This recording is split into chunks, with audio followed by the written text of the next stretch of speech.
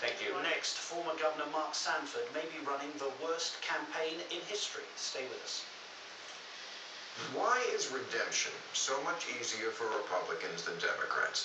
Well, simply put, it's because Republicans are the Christian party, and there's nothing evangelicals eat up like a redemption story. Sanford said he asked Jesus to forgive him, and Jesus said, okay. This is what I'm saying.